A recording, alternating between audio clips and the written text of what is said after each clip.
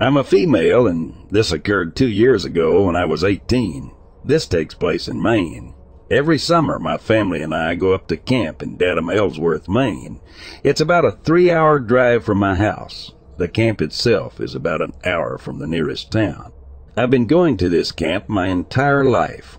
My family owns it, and I've never had an incident like this happen before. I was watching TV in the middle of the night. Both of my brothers and my parents had gone to bed. I heard a noise coming from the kitchen and realized that the dogs needed to go outside to do their business. So I took my brother's two pit bulls and my Affenpinscher, tiny dog, outside after turning on the porch light.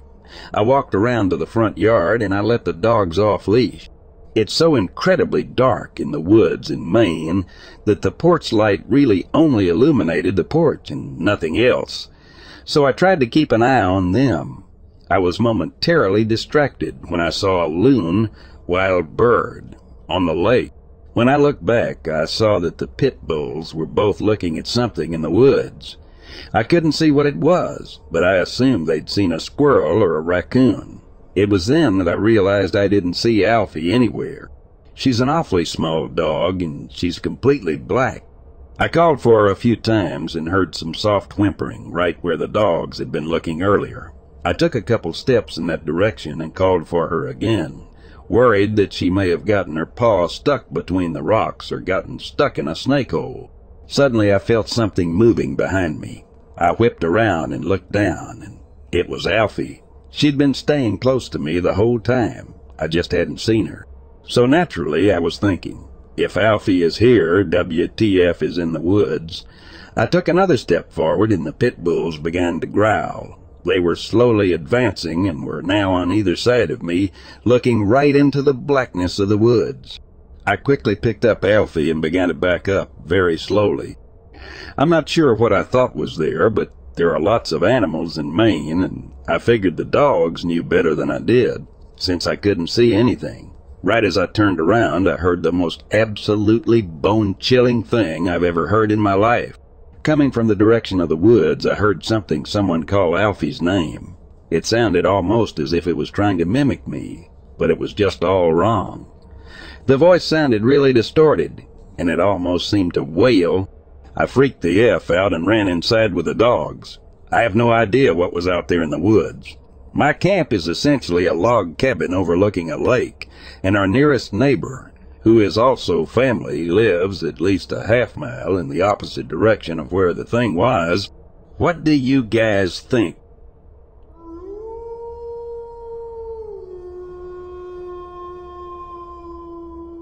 A few things to know. I share custody of my son with his father. It is 50-50. When my son was younger, I would wake him up at the crack of dawn to get him ready for daycare before I went into work. I've worked remotely for three years now and no longer have to wake up so early. I also love to talk to my kids about their memories. What's your happiest memory? What's your favorite memory with your brother? What's your earliest memory? As I think talking about their memories helps keep them alive in their minds, and I love to see the world through their eyes. A few months ago, when my son was six, he told me he remembered what it was like to be in my belly, that it was dark, wet, warm, and comforting. At the time, I didn't think much of it and just nodded and told him that I thought that was interesting. Fast forward to a month ago, I asked my now seven-year-old what his earliest memory was. I will do my best to describe what he described to me. He was three years old at the time. He was sleeping and woke up in a dark room. He didn't know where he was, but he stayed in his bed and visually observed the room. He described the room to me, which was spot on. We moved out of that house two years ago. He said at the time he didn't know where he was, but he wasn't scared. When the sun started coming up and brightening his room, I, his, his mother, came in. He saw me and didn't know who I was, but again, was not scared. I asked him if he remembered his dad when he picked him up, and he said no. He didn't recognize his dad, his dad's house, or his own bedroom there. He said from that day he awoke in his room at my house, and going forward was when he began to learn. He said prior to the day he woke up, he couldn't see through his eyes. The way he describes it to me seems like the way you see in a dream. He struggled to explain this portion to me. He said it wasn't a scary feeling when he was finally able to see. At the time he was explaining this to me, his four-year-old sister was wandering around the house playing by herself, and he looked at her and said, I wonder if she remembers when she could see. I believe what he was describing to me was the moment his consciousness came to him. The moment he realized he was here on this earth. The way he explained it in such great detail makes me believe that this is an actual memory and not something he has made up. Does anyone have a similar experience?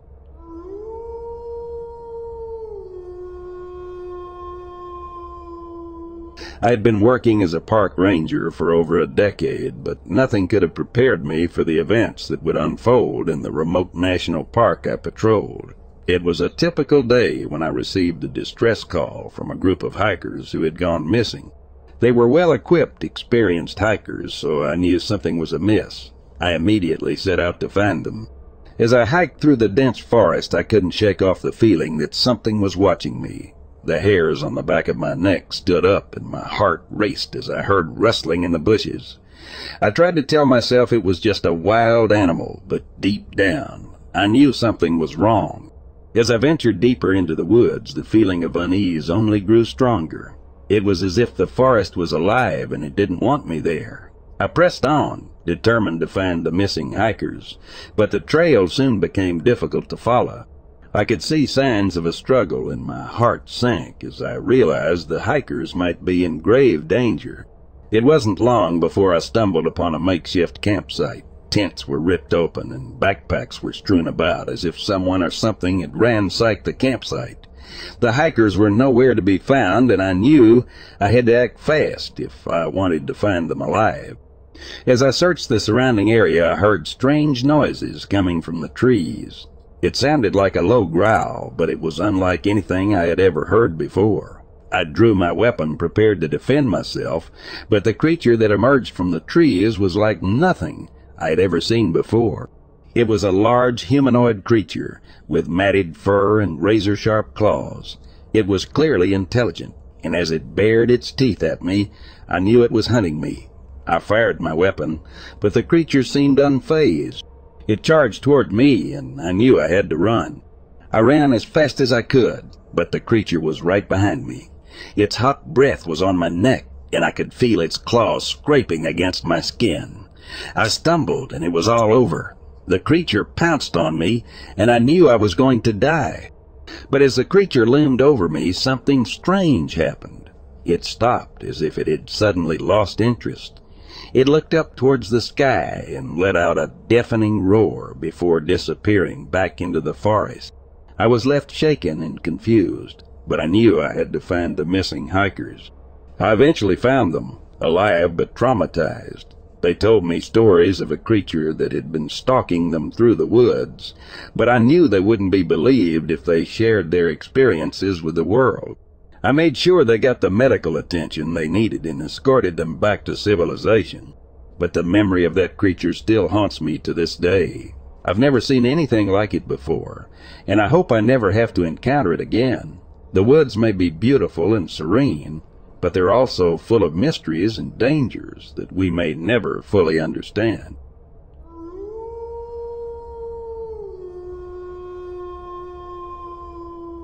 This happened between 1986 and 1989.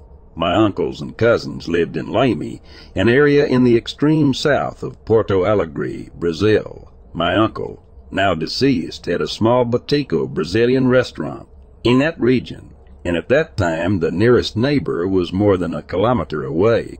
Pasture and centenary trees predominated the landscape.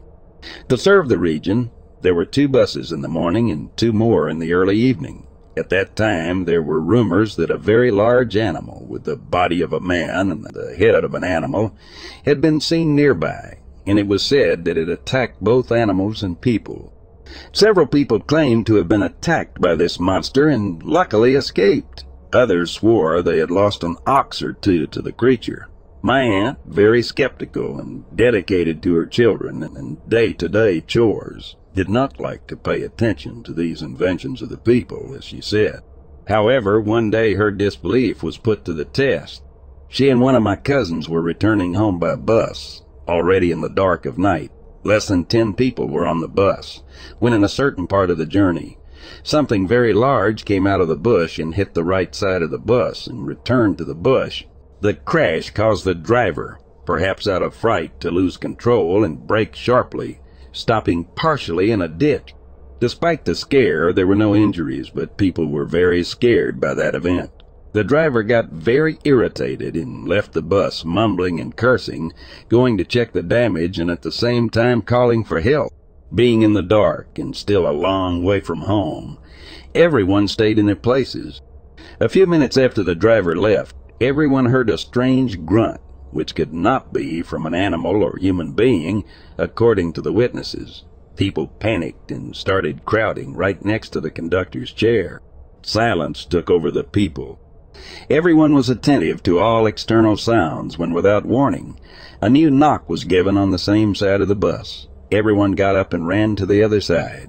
Some of the people began to cry and pray. One lady became out of control, and my aunt, very afraid, remained to protect her son. At that moment, the bus began to be violently shaken, as if something or something was shaking the vehicle from side to side. The dread grew as the bus rocked. It looked like it would be overturned at any moment. Looking through the windows, you could see a large figure outside, but you couldn't tell what it was. Without the slightest warning, everything stopped, and whatever was causing it started to make its way toward the front of the bus, where the door was open. At that moment, my aunt was so terrified that she wanted to die and not see what was attacking them. Even before the creature entered the bus, it was possible to smell a terrible, rotten, unbearable smell. Everyone fled to the back of the bus and huddled in a corner, which made them look like a single, shapeless mass of people huddled together.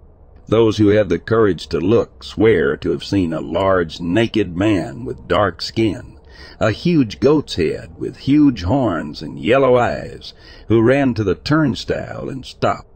He spent a few seconds straining and huffing angrily before turning around, getting off the bus, and disappearing into the bushes. Unbridled crying took over people. People were in shock, totally terrified. A few long minutes passed when another bus pulled alongside this one. Another driver, who was called to help the damaged bus, was informed of what had happened and left to find the first driver, who had not yet returned. Luckily, he was walking along the side of the road, returning from the place he called the bus company. The military brigade was activated, and ambulances, experts, radio, and television came. The case was covered for a few months with newspaper articles and interviews with the victims. Search parties searched for the creature's tracks, but they were never found. Several theories were formulated about what would have attacked the bus, but nothing is proven. Apart from some dead animals which were attributed to the creature, nothing else happened. Nowadays, that region is populated and very different from the time when the events occurred, leaving the mystery of the creature that attacked the bus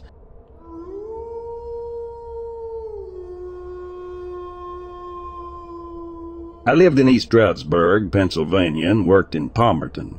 I worked a late shift so I'd get out of work at 10 p.m. One night as I was heading home late because of overtime, I think it was about 1 a.m., I was driving down the road at the above coordinates. I saw two red dots of light from far away, but they seemed to be approaching my car very quickly. I slow down and suddenly these massive, battered, dragon-like leather wings come gliding with a single flap motion just over my car. It was so surreal and happened extremely quickly, but I didn't see its face or body detail. It was a new moon and there's only my headlights out there. I slammed on the brakes and get out, but it's just total darkness and this thing was black. I'd say its wingspan was about 10 or 11 feet. I've seen a condor before, and it was pretty much that size. Just massive. But I could hear it flying away after I stopped and got out. There was just no moonlight, so I couldn't see it. But it sounded like when you spread a sheet out on a bed or throw a tarp over something. I've only told three people this story, but I figure I might as well post it somewhere so people can try to get a pic or something. It'd be cool to see it again. Edit Writing this post helped me consider any alternative explanations, and I'm willing to consider this as a possibility since it was so fast a sighting. It just seemed larger than five feet, but I didn't have anything nearby to gauge size with. The wings also could have looked leathery because of the reflection of my headlights on preened black vulture wings, which lacked the white flight feathers of turkey vultures. It would also explain why the red eyes were near the road and then flew above my car.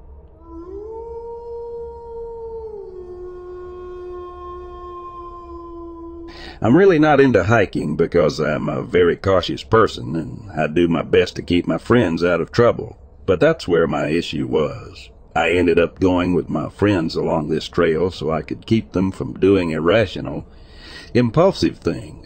Anyhow, I come to a crossing where there was a rope bridge. Major no-no in my books, but my friends insisted upon crossing.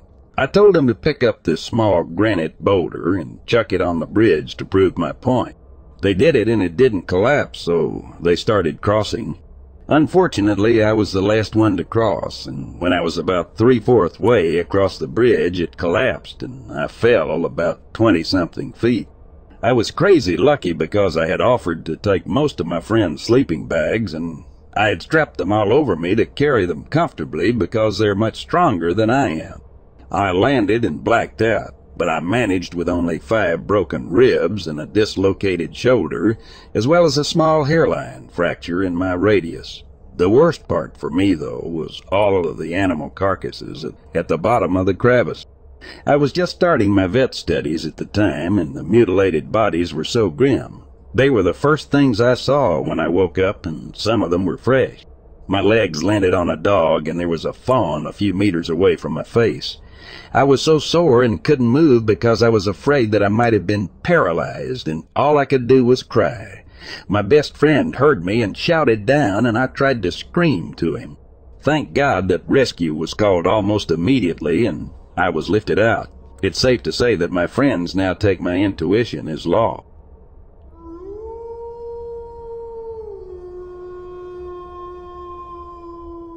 About a month ago, my boyfriend and I were on the couch of our home watching a scary movie around 9 p.m. He has two phones, his personal cell and his work phone.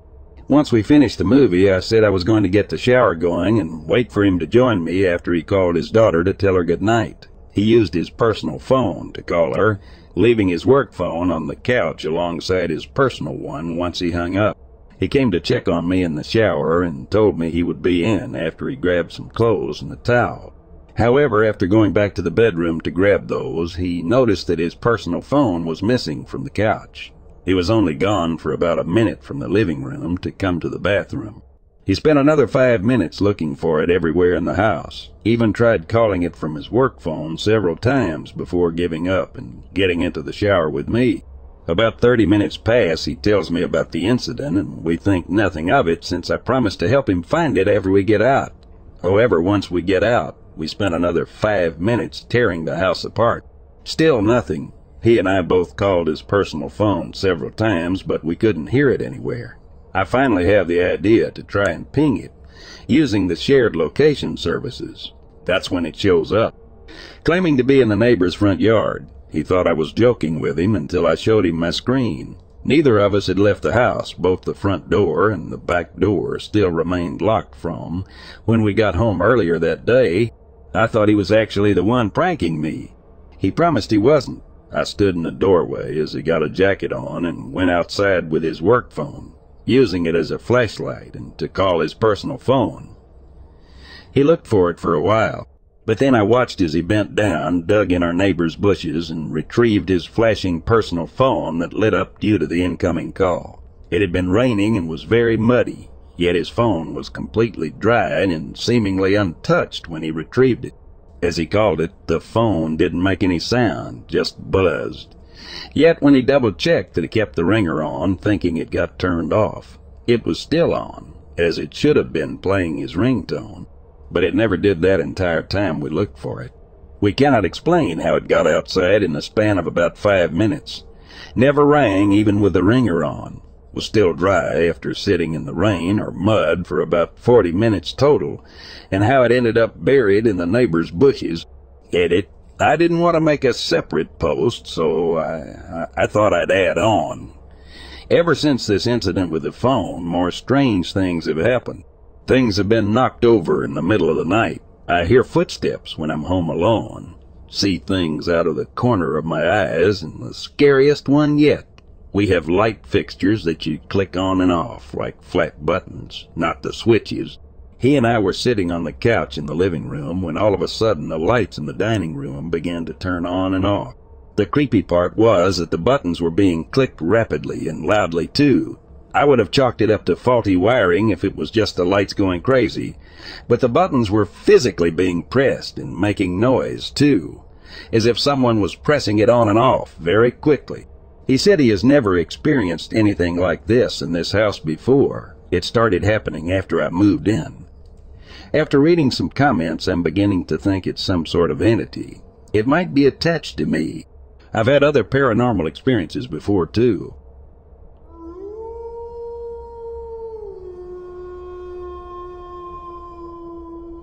I was walking my dog, a black and white pitty retriever mix, outside before putting him to bed around 11 p.m. It's very dark as there's a lot of wooded areas around my apartment complex. I usually walk him about half a mile or so out from the complex to a stop sign and light post at the end of the street, which borders on the woods. Usually there is nothing out of the ordinary, just woods and uh, normal animals like squirrels and the occasional deer. Sometimes there's that weird, heavy feeling like something is watching you intently, but I mostly ignore it, and we cut our walk short and head home since a brief scan of the area shows nothing is there. Tonight there was that heavy, watched feeling again, but when I scanned the woods there was something there, a dog with glowing yellow eyes that looked exactly like my dog, down to the heart-shaped white spot on his chest, standing just past the tree line, staring directly at us. It looked like it could be his twin, but there was just something off about it that invoked that feeling of run. My dog definitely saw it too, and was whining and staring at it hard. Usually my dog is reactive to other large dogs, but he seemed more scared than anything else and wanted to get away, which is very abnormal behavior for him. After seeing it, I fought that run feeling and walked quickly but casually back into the gated area and home, without looking back but listening very hard for anything coming behind or to the sides of us. Instinctively, it felt like the safe thing to do. I don't know why. It seemed like it didn't follow, but who knows? I do know that I will be skipping nighttime walks for a while, that's for sure. Any ideas on what that might have been? Google was not much help. We live in North Georgia at the base of the Appalachians, but I didn't grow up here, so I'm not sure of local folklore for the most part.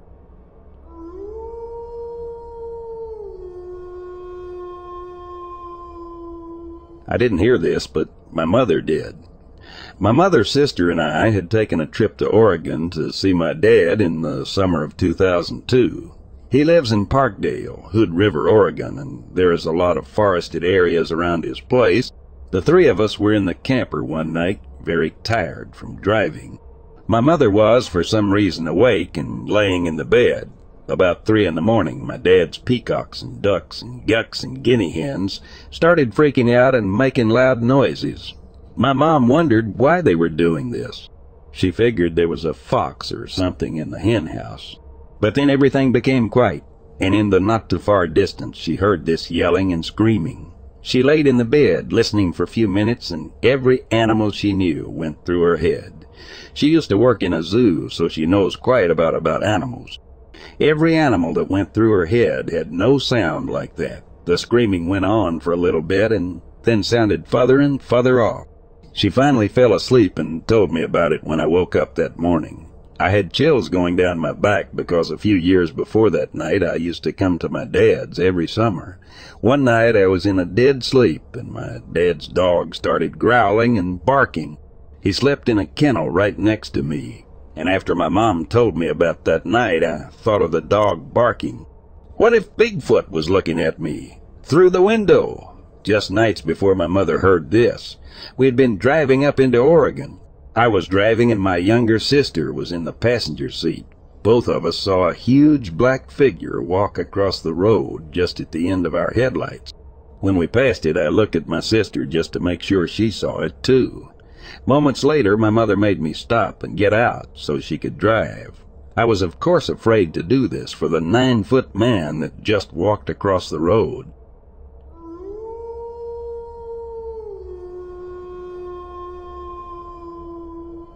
I lived in New York around the time that Ralph Bucky Phillips was on the run.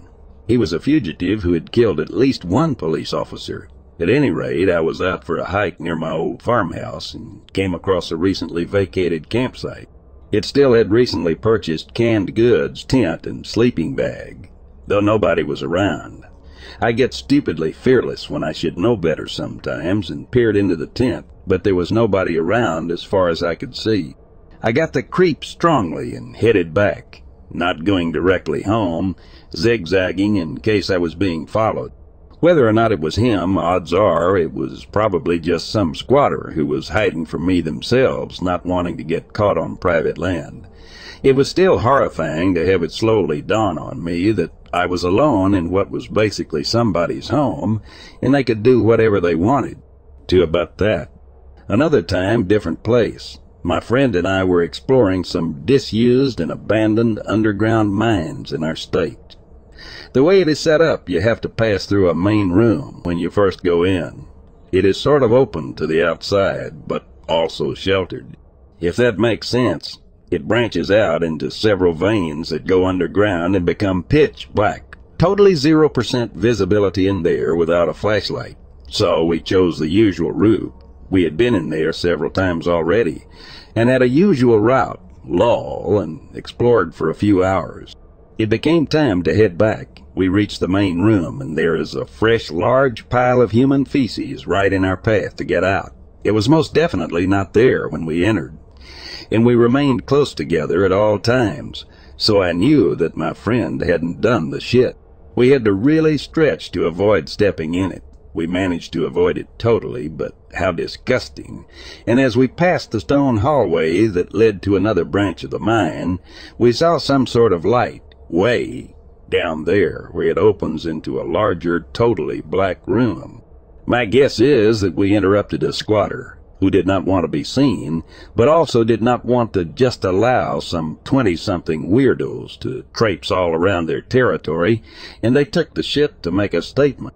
We actually called out, hey, if someone hears this and is staying here, we meant no harm and didn't do anything to destroy your home, because we are considerate like that.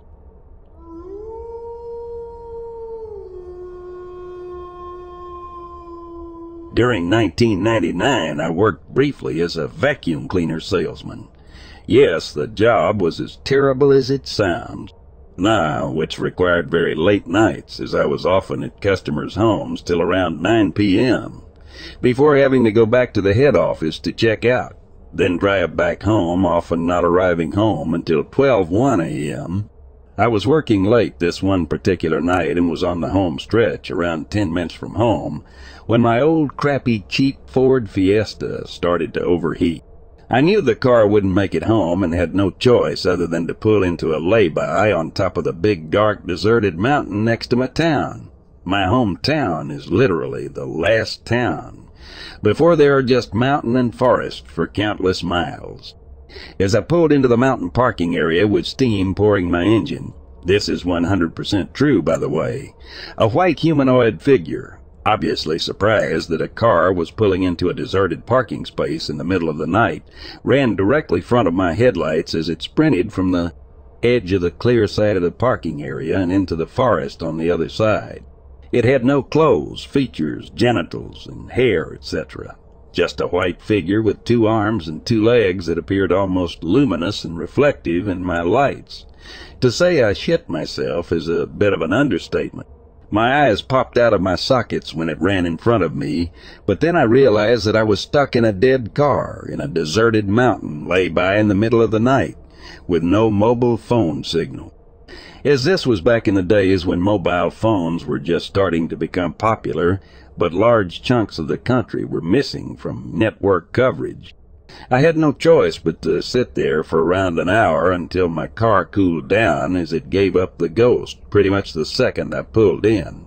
So I sat in my car, alone, staring directly into the forest where the thing I saw had run. No weapon, no way to contact anyway to let them know where I was, and no passing traffic to possibly flag down. During my wait in the car, I obviously started to wonder what I had seen. I knew for a fact that I had actually seen something, and it was not a trick of the light. That much was clear. I discounted sheep, horses, foxes, or any other animal that populated the Welsh mountains, as I was certain it a two-legged humanoid creature shape, with roughly human head, body, arms, and legs proportions. The obvious answer would have been that it was some very strange man who, for some reason, was wearing a white entire body stocking. Think Charlie's Green Man, and it's always sunny, but since we were miles away from the nearest home, and I was the only car around, it's highly unlikely that someone would have spent hours walking through thick forest just to hang out at a parking area in the middle of a forest wearing a unitard. Since I could rule out possible animals or humans, I had to consider the alternative, which isn't a nice thing to think about when you are stuck in a broken down car with this creature very possibly still outside. I didn't think it was aliens as it was too tall compared to the classic look, while any type of apparition or ghost doesn't tend to run away from people when surprised. I'm not sure if there is some kind of Welsh version of a Wendigo, but if I had to categorize the encounter, this would be my number one choice. There was always talk of satanic rituals and witches practicing in the forest when I was a kid, and also of illegal bare knuckle fights where people had been killed and buried there to cover up the crime. But I didn't think much of it at the time, and always wrote it off to superstition and rumor. But now I'm not so sure. Eventually, my car cooled down enough for me to limp back home. No one really believed me when I told them what I saw and are adamant that it was a sheep, but to this day I will swear that the creature I encountered was something different. I have been in the forest many times since camping, biking, and hiking, and have never seen anything like that again. But whenever I go there, I am always aware of the possible presence of the goatman.